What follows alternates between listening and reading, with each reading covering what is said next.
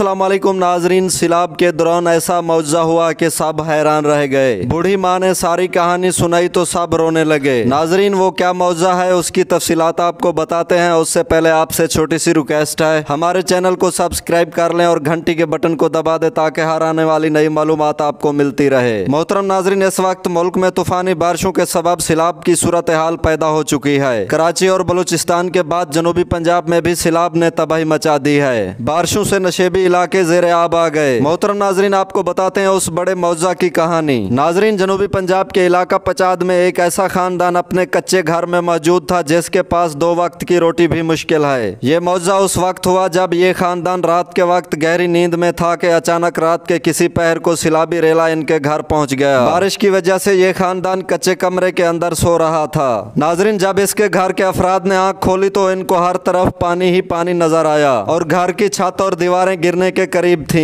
मगर वहाँ पर सोई हुई पचहत्तर साल बूढ़ी माँ ने रुला देने वाली कहानी सुनाई है बूढ़ी माँ ने कहा की मैंने देखा की इंसान की शक्ल में चार अफराद हमारी घर की छत और दीवारों को अपने हाथों से रोक रखा है नाजरीन इस खानदान का कहना है की जैसे ही हम घर से बाहर निकले तो फौरन ही हमारा घर जमीन बोस होकर पानी की नजर हो गया और हमारी जिंदगी बच गई मोहतरम नाजरीन कहते हैं जिसे अल्लाह रखे उसे कौन चखे अल्लाह ताला अपनी मखलूक की बेहतर हिफाजत करने वाले हैं बेशक जिंदगी और मौत अल्लाह के हाथ में है